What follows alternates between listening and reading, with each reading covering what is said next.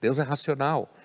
Quando o cristianismo vai assimilando Aristóteles e toda a filosofia, principalmente aristotélica, século XII, XIII, XIV, o islamismo assimilou primeiro, da época, vai assimilando, e o Aristóteles tem um, um entendimento do teos dele, do primeiro motor, como um grande intelecto, que mantém as coisas num lugar, que ordena tudo.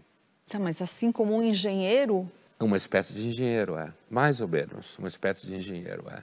E que, portanto, a razão não nega Deus. Isso para a Igreja Católica é fundamental até hoje. A razão não nega Deus, eu entendo. Agora, Deus é racional, eu não entendo, porque a gente uh, ouve, a gente é ensinado que Deus é misericórdia, Deus é amor. E também Deus... racional.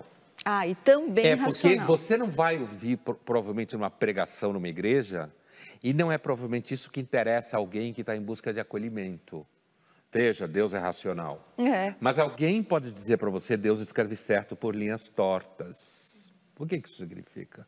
Significa que ele sabe muito bem o que ele está fazendo. E para saber o que ele está fazendo, ele tem que ter supostamente algum tipo de plano, mesmo que serão que sejam misteriosos os caminhos do Senhor.